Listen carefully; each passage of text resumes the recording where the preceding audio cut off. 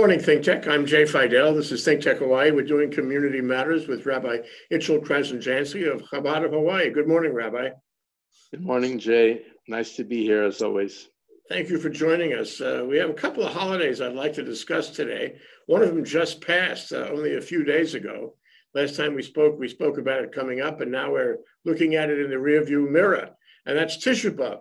And I think some people refer to Tisha B'Av as what? Tu B'Av uh, the ninth day of Av. Um, if it's a serious holiday, can you talk about it? Sure. Tisha B'Av, um, which is, as you say, the ninth day of the Hebrew month of Av, which was last week, is, is the saddest day in the Jewish calendar because it marks many, many tragedies that took place um, to the Jewish people throughout our history. Uh, beginning all the ways back from uh, the Torah, the Bible, in which we read about the story that when the Jewish people were in the desert, uh, Moses, Moshe Rabbeinu, um, sends 12 spies to enter into the land of Canaan and to uh, report back as to how to conquer the land. Because as you recall, the Jewish people having left Egypt, they were destined to go into Israel, uh, which at that time was called the land of Canaan. So Moses sends these 12 spies to, uh, for a reconnaissance mission. And they come back with a very, very negative, disparaging report, basically saying that there's no way we could uh, win over the 31 nations that occupy the land. It's futile. And threw the entire nation into despair. And um, so the Torah says that God said that you are weeping for nothing, you're crying for nothing, because in fact you can overcome them and you can conquer the land. But because uh, because you lack the faith, this day forever will be a day of sadness, a, a day for real a cause for weeping. And uh, ever since then, that day has been marked as, uh, as a tragic day. So subsequently, the, the two temples in Israel, many hundreds of years later, were both destroyed on Tisha B'Av, on the ninth day of Av. The first temple was destroyed by the Babylonians on this day, and the second temple was, was destroyed by the Romans on this day. And then many other tragedies happened on this day. Uh, the most uh, the, the, most obvious one and the saddest one is the um, Spanish the expulsion of the Jews from Spain in 1492 happened on Tisha B'av. So it's considered a, a, sad day. It's a day that, that we that we mourn the destruction of the temples primarily. It's a fast day a 24 hour fast day and there's prayers. It's like Yom Kippur. But what's interesting is, you know, uh, you cannot keep uh, a Jew down for too long because in our DNA, we are wired to be happy and positive, even, even within, even amidst the, uh, the tragedies. So today, actually, is Tu B'Av. You mentioned Tu B'Av, the 15th day of Av, which is a mere six days later. And the Talmud says that there was no great, greater joyous day than Tu B'Av. Uh, primarily in the in, in, in the biblical times, Tu B'Av was like like what what is today is Valentine known as Valentine's Day. That's when uh, the boys would go meet the girls and uh, and that was one of the many things that happened on Tu B'Av. And the commentaries point out that Tisha B'Av is the sad, is the lowest, the lowest of the low in terms of uh, sadness. Tu B'Av, which is which is which is just mere six days later, is the most joyous day. So the, the, the journey from from the lowest of the low to the highest of the high is uh, very quickly and um, and very and and and in very in a very short time we are transformed from mourning to rejoicing mm. especially yeah. Why, why do I feel this uh, this is relevant uh, in the time of COVID? You know, we have COVID, we have the uh, the failure of the American economy, and we have parallel parallel phenomena in um, in Israel. Um, and there's a lot of um, trouble in Israel along similar lines, I think, between COVID and the economy. I read Haaretz, you know, and uh, I, I, see this every day. Uh, and then, of course, we have that uh, bombing, the explosion. It's not clear what it is um, in Lebanon, in Beirut today, which which just demonstrates uh, how fragile uh, the Middle East is in general, and that things like that, that things that are very violent and destructive happen. Uh, so, how, what what lessons, aside from what you've said already, what lessons do Tisha B'Av and Tu B'Av have for us, uh, given all the, mm, the instability of uh, the Middle East? Well, um, there's a principle in, in Jewish mystical teachings that every descent, every negative uh, occurrence is for the purpose of a higher ascent, is a stepping stone to get us uh, even further along. In other words, that the, the, the, the destruction was there to pave the way for us to be able to attain a higher level. It wasn't just a setback, but it was a setback in order for us to grow. And uh, generally speaking, the idea of the destruction of the temples is not the destruction of the physical structure of the building that the buildings were burnt down, but really it's more of a spiritual dislocation. It is when a person spiritually um, uh, is severed from their gravity of the, the gravity of center, or center gravity, and we become lost and forlorn. The the the uh, fact that we're scattered uh, you know, we understand the exile, the tragedy of the exile is that once the temples were destroyed, the Babylonians came in and burnt the temple, they, they scattered the Jewish people and sent them into exile. But it's not just a, a, a geographic scattering, but it's also a scattering in the sense that we uh, are now dislocated from our core truth, our core reality. And the purpose of the destruction, the descent for the purpose of a higher ascent, is that somehow this experience serves to allow us to pull it all together in a much deeper way. And this is and, and, and this is really the work of the Jewish people in the diaspora and this is our uh, aspiration of coming back to Israel with the coming of the Messiah. It means that once we totally heal and we pull, pull it all together and we center ourselves, so then th- that is the restoration of how things were in a much deeper way. Because when, when something is broken and you fix it, it's stronger than, it, than before it was broken. Well, let me ask you a question, uh, uh, but I think it's a hard question. a question only a rabbi can answer, Rabbi.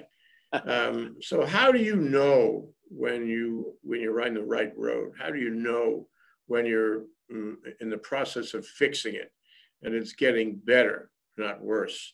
How do you know when we're climbing, you know, out of a out of a problem well, time? Well, well, well, first of all, uh, for that we have the Torah the Torah is referred to as like the blueprint, the blueprint for life, the blueprint for living. And we, we turn to the Torah to get our direction, to get our guidance. So it's all spelled out in the Torah. Now, granted, the Torah is a little cryptic and it's like a code, because on the surface, it's just stories and laws. But um, if you dig a little deeper, and that's where the commentaries come in, specifically the mystical teachings of the Torah, we find that it actually it, it, it, it speaks to life and how a person should live life and how a person can live life fully. and and as you know, and to fix it as as we as we're talking about. But also, it's instinctive. It's also instinctive. A person a, a, a person instinctively knows if they are on the right path or they're lost. Now, the, the, the, problem is that, you know, if you're lost for a long time, you just accept it and you just make, you know, you make a life, you know, the best you can. But um, every once in a while, we get this little uh, zing, you know, uh, you know, uh, whispering to ourselves, you know, are we actually doing something meaningful with our lives? Are we uh, living life as our Creator intended us to live? So uh, these are these are the wake up calls that God sends our you know along our paths. Yeah, it's a moment for introspection. Certainly, uh, COVID, either here or in Israel or anywhere, is a wake up call, asking us to uh, take a look, re examine, um, reorient ourselves, uh, ask whether we're, we're, living our life the way we, the way we should be, whether we're being productive uh, in a in a physical sense uh, and in a spiritual sense too. Well, let me reintroduce our, our guest. Our guest today is Rabbi Itchel Krasnjansky. Um, he is uh, the rabbi, the chief rabbi, I would say, of uh, Chabad of Hawaii. Chabad is a, is a, I mean, I say a worldwide organization emanating out of New York City uh, and it has deep roots uh, in Israel, of course. So, Rabbi, let me ask you about the next holiday to follow, which I believe the next holiday is what people refer to as the high holidays. That's Rosh Hashanah and a few days later, Yom Kippur. So, these are the most holy, the most important, am I right? Uh, Jewish holidays in the calendar.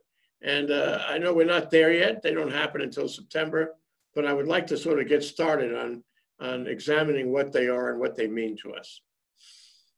Okay, sure. And actually, we're not too early because, um, you know, within the, the structure of the Jewish calendar, you know, we are well prepared for Rosh Hashanah uh, by the time it comes around because the entire month before, which in Hebrew is called the month of Elul, is referred to as the month of introspection because that is the time when we take stock of, of you know how the year has gone. And that's the time when we make the uh, the resolutions for the new year. Rosh hashanah first and foremost is uh, marks the beginning of the jewish new year.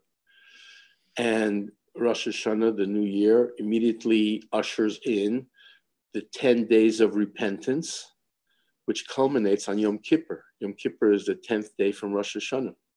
So it is a time of introspection, as you say, and it's also a time of celebration. But uh, the emphasis is on introspection. And uh, I, I, guess that, um, that uh, as you say, now that we're living through COVID, uh, even you know it lends itself for a double measure of introspection. You know how how um, you know, how we go forward and make the best of a terrible situation. So um, you know the difference between the jewish new year rosh hashanah and the secular new year december 31st january 1st is that you know uh, secular New Year is all about partying and celebration, beginning with the ball dropping in Times Square. Uh, but for the Jew, um, Rosh Hashanah, for the Jewish people, Rosh Hashanah uh, beckons us to ask the questions that we mentioned before and to, uh, you know, about life, about um, our relationship with God, our relationship with other people, and uh, to work on ourselves. And even though that, that seems a little somber, but uh, as we said before, uh, in, in, Judaism, you know, joy and happiness is a constant, a constant companion. Even when we take stock of ourselves and we take stock of, of, of, of life around us, you know, the emphasis is always on the positive. And, and, and what more can we do to, to bring out that positive that there is in life and in the world? You know, Even it reminds the, me of the Fiddler on the Roof, which is not, not my namesake, um, where he sings about L'chaim. He sings about life. And uh, I think that's what you're saying, isn't it? You have to be joyful that you are alive and that you can enjoy life. And, and uh, what you're saying so much reminds me of that song in Fiddler on the Roof.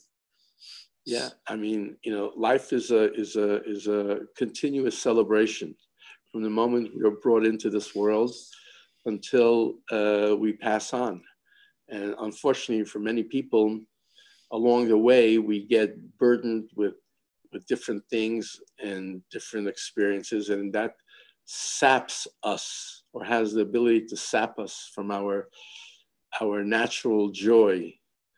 And uh, very often people you know consciously or subconsciously just throw in the towel and just uh, you know continue existing day by day. But, well let me let me uh, sort of um, take a, a, slight digression here rabbi. So in covid not only yes. Not only uh, you know in the us in general but here we have deaths here and and our and our curve is spiking here more threatening yet um, and of course, in, in Europe and, and of course in Israel, people are dying. And, and with the, the, uh, the, very unpleasant thing about COVID is you usually die alone. Uh, you don't even have family around to support you. You, you die with uh, the hospital system surrounding you. And um, it's very it's troubling, and uh, dying is troubling, and that's troubling. And you're, you're, you know, speaking of, um, you know, religious principles, um, you know, philosophical principles about, um, you know, living life, but what about living death?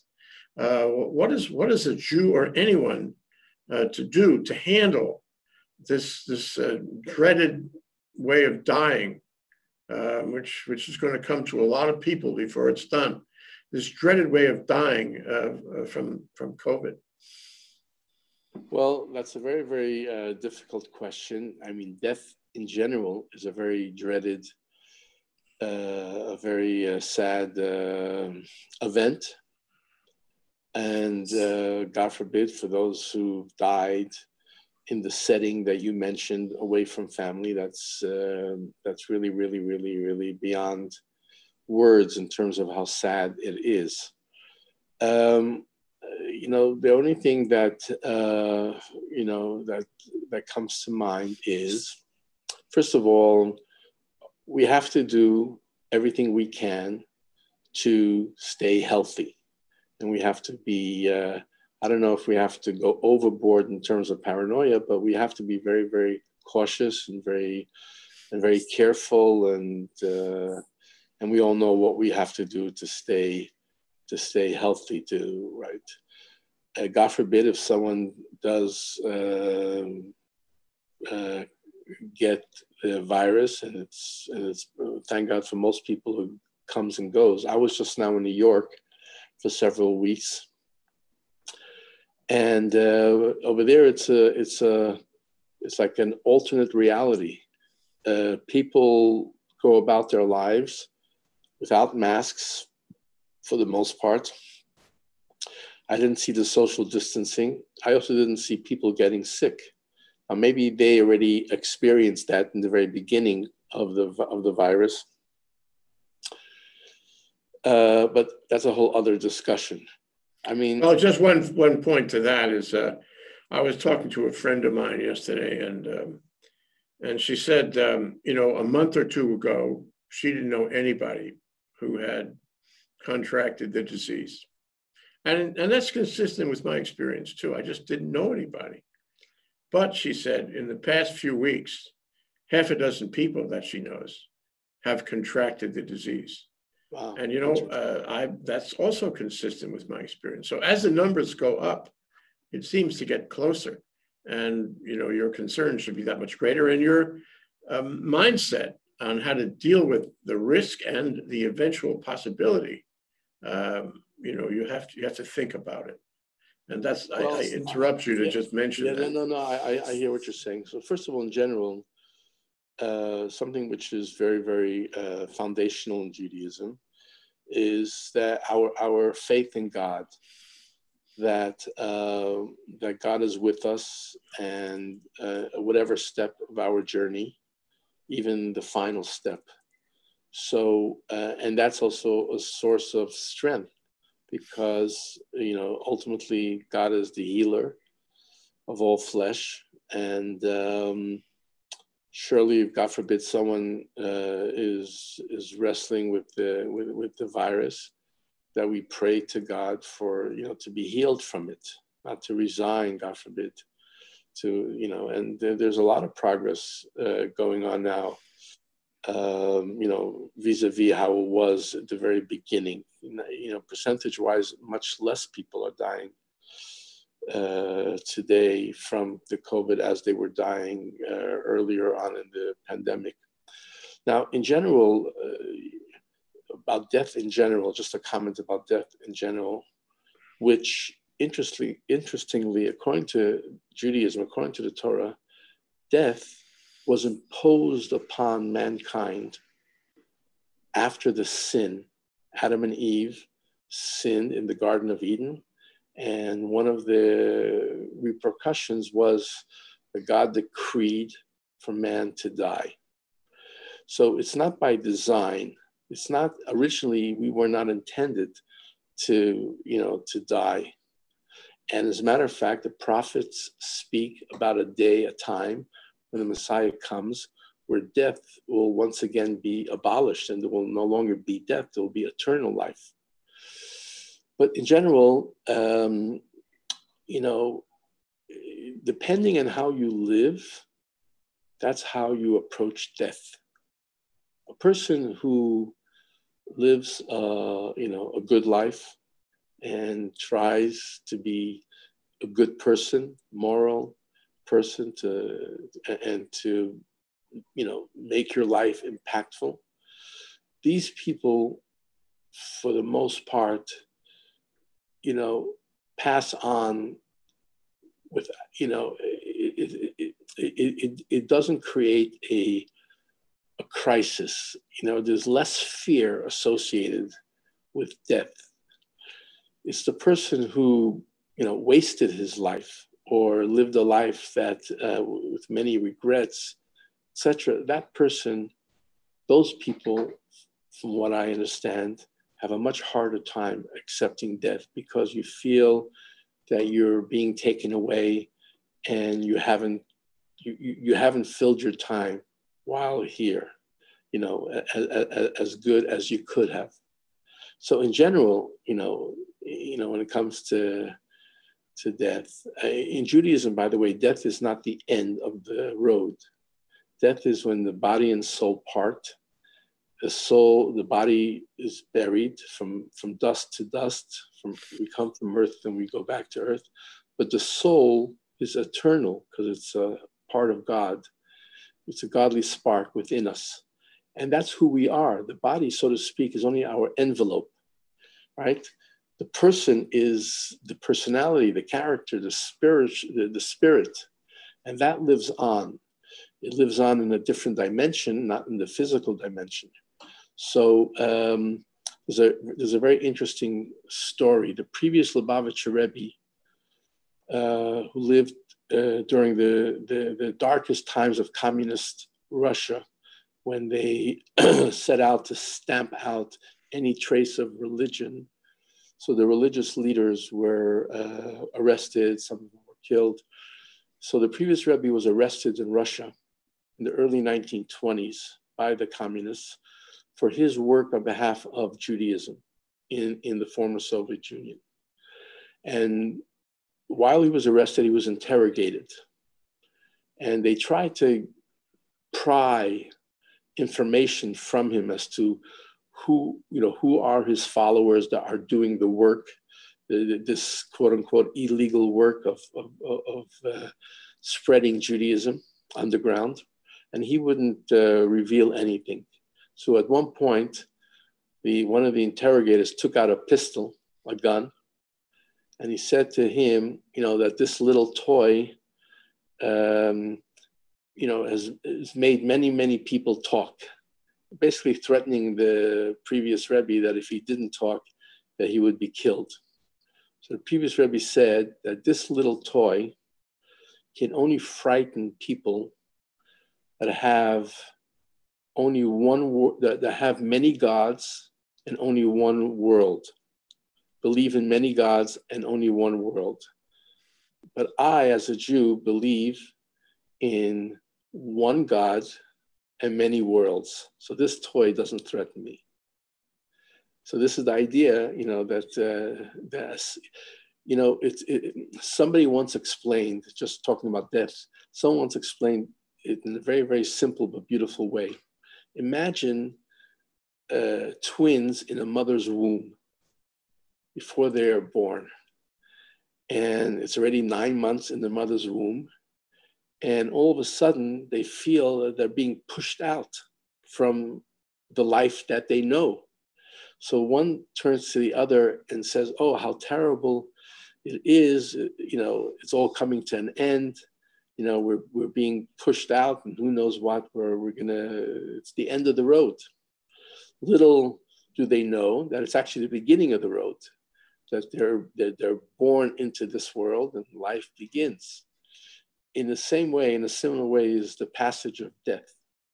You know, we, you know, we, we, we move on from this dimension, from this physical world, into a, a better world, better in the sense that it's a godly spiritual world not physical.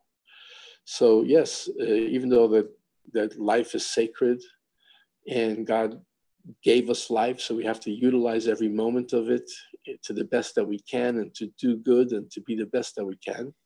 But when uh, our journey, our journey, you know, uh, comes to an end, then we, we, we know, then then we transfer to the next uh, passage. Oh, you know, Rabbi, that reminds me of a slogan we've taken on here at Think Tech. It goes this way day one starts now. yes. Every day is day one on a new on a new part of the journey. Well, uh, I think I, I, get I get the message about the reset in uh, Rosh Hashanah. It's the new year. It's a time for introspection. It's a time to reset your your thinking your relationship with the world and with God. Um, and, and that helps you stay in tune uh, for eventual eventual problems that, that may be, beset you, including problems uh, around COVID. So next time, Rabbi, I would like to go into um, you know how we celebrate Rosh Hashanah, um, what it means um, you know uh, to, to, individual people, what they do in Rosh Hashanah, uh, and how it relates to Yom Kippur uh, ten days later. Uh, and I'll ask you, I can tell you now, I'm going to ask you this question. if Rosh Hashanah is a time for uh, review and retrospection and reset, uh, why do we wait 10 days to atone for our sins? Wouldn't it be more logical? Don't answer this now. Wouldn't it be more logical to atone for our sins first and reset second so think about that. Next time we meet, Rabbi, we're going to discuss the relationship. I, I would love to discuss that. It's a very, very, very important question, but that leads us to some very deep insights into the holidays. So I'm looking forward to Jay as always. Thank you, and thank, uh, thank you for the opportunity. Yeah. By the way, okay. this by the way, this year Rosh Hashanah Yom Kippur is going to be challenging because uh, I mean things can change and hopefully they will change. But right now with the governor's edict that no, no more than 10 people can congregate. Uh, does that mean that we're limited to only 10 people? It's interesting. Maybe the governor, without even knowing, uh, picked the number 10 because that's the required minyan that we need, at least 10, 10 men for a minyan. But uh, it'll definitely provide us with some interesting challenges how to uh, how to conduct services with this limitation. Yeah, um, looking forward to our next discussion, rabbis. Thank Stay you, well, be well. Thank yeah, you so much. Thank you. You too. On. Have a wonderful day. Be well. Thank you. Aloha.